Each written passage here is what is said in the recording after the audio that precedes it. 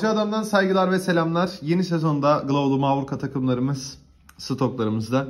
40 gram, 60 gram, 80 gram, 100 gram, 125 gram ve 150 gram olmak üzere 6 farklı seçeneği bulunmaktadır. 2-0 1281'de Juella iğneleriyle takım çok daha avcı bir hale gelmiştir.